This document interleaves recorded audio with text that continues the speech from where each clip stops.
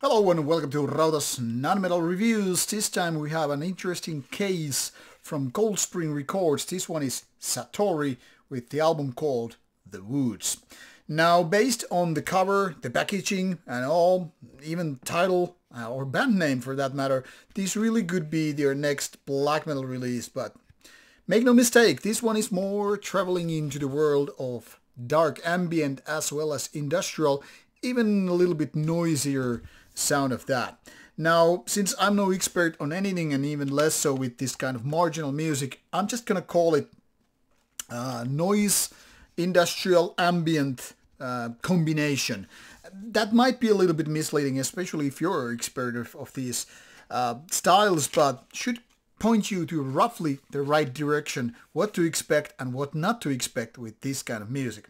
This one is actually pretty interesting and as such also pretty cool. Um, those who know what Cold Spring is all about, you already know that this is uh, the kind of a label that puts out marginal music, be it dark ambient, be it industrial power electronics, experimental music of many different kinds.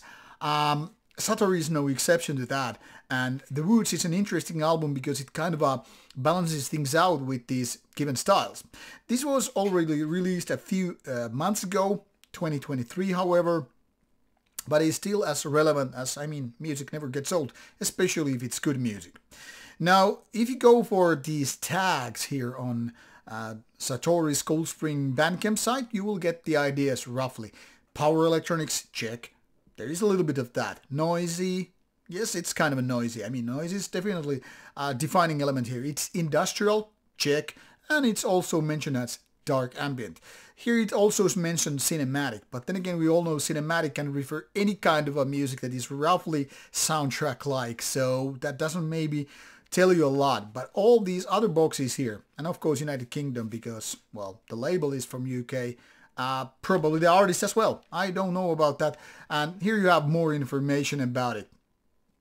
But this one is a curious case because it features the kind of a music where the things blend together. I mean, you definitely have those dark ambient moments for kind of a sinister, there's something bad is about to happen. Then you have those samples which sound like you're in a dentist and you can hear the drilling noise, which is probably flaring up your uh, reptile brain like oh it's gonna be pain because i'm hearing this drilling noise and all that stuff.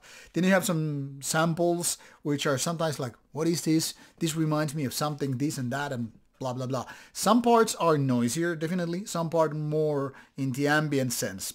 It's all very interesting in my opinion and this creates a nice mix of things.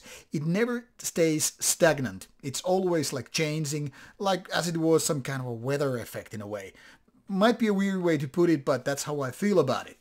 Now, for those who don't know these styles, this album might just be too much uh, to digest because it's of various styles. It's not really uh, that easy to put your finger on Kid stay like, hey, this is that, this is that.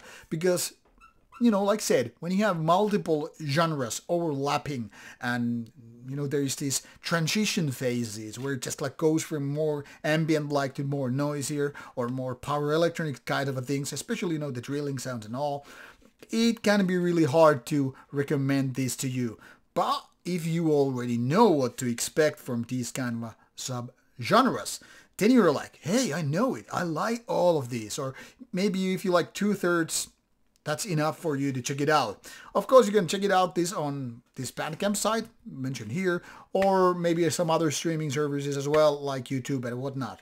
Um, but those who like the styles, there's no reason why not to skip that. This is not my favorite kind, but th that is only because I'm not that big on power electronics and uh, noise in general. But the ambient parts, they're like check, check, check.